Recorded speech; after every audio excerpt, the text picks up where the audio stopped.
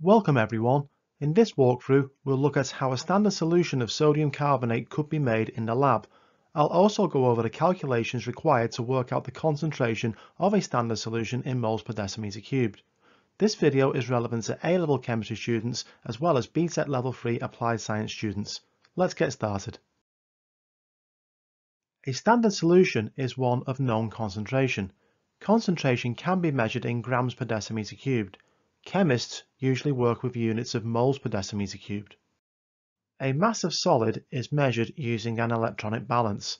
This is then dissolved in distilled water and finally it is transferred to a volumetric flask and made up to a known volume.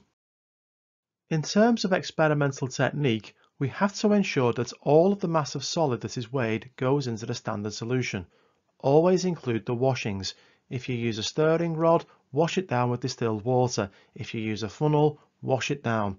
Rinse the beaker into the volumetric flask too. As well as the mass of solid, the volume of the solution is also a critical measurement. Make sure that the bottom of the meniscus is on the line when using the volumetric flask. Use a dropper pipette and a piece of dark paper behind the neck of the volumetric flask so that you can see the meniscus clearly.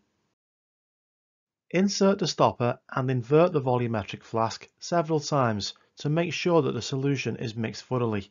Label the volumetric flask. Here is an example of a method to prepare a standard solution of sodium carbonate. You can pause the video and read this procedure carefully. Have a look at these results. Pause the video and see if you can calculate the concentration of the solution that the student has made. First, Calculate the amount of sodium carbonate in moles. Amount is equal to mass divided by molar mass. Use a datasheet to work out the molar mass of sodium carbonate. In this example, the amount of sodium carbonate is 0.012642 moles. Next, the concentration is found using concentration is equal to amount divided by volume. We need to convert volume from centimeters cubed to decimeters cubed. This is done by dividing by 1000.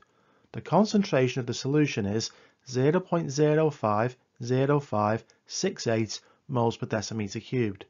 I have left the results of five significant figures because it may be used in future calculations.